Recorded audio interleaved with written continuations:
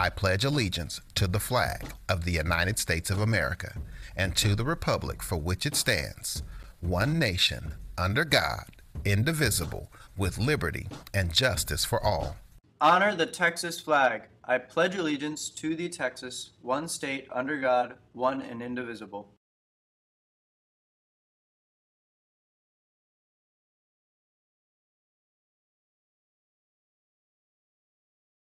Good morning, Decatur High School. Today is Tuesday, and these are your announcements. Sophomores and juniors, if you would like to attend a college fair Friday, please turn your permission slip in to the first floor office. Um, students who would like a new calendar or planner for the spring should see Miss Russell in 235 or Miss Johnson in the first floor office.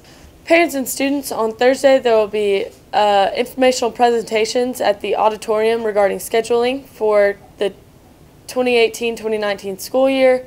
From 5:30 to 6:30, the councils will present to the sophomores and juniors, and from 6:30 to 8, incoming freshmen and their parents will receive the information. Uh, identical presentations will be held on Monday, and then the following Tuesday, the counselors will host a coffee with counselors from 8 to 10 in the first floor office. Anyone wanting to try out for baseball, please see Coach Maddox in 305 to sign the tryout sheet. And if you would like to purchase a yearbook, you should do that now. Uh, the price will go up. They are $65 now, and that will be on Friday. Um, prom money for seniors and juniors is due no later than Friday, March 30th. Prom is on Saturday, April 28th, and the location will be at Texas Motor Speedway. More information to come. Please see Miss Smith if you have any questions. And now for sports with Crazy Colin.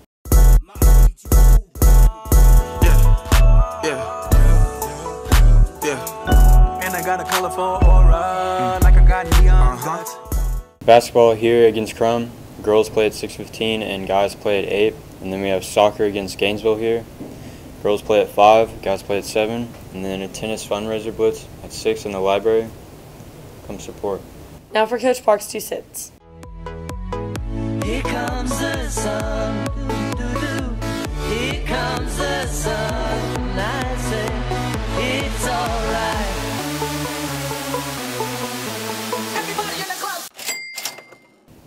And remember, DHS, adversity and perseverance are things that shape you. They will take you and give you value and take you places you've never known. It's my two cents. God bless America. Have a great day. Have a great day.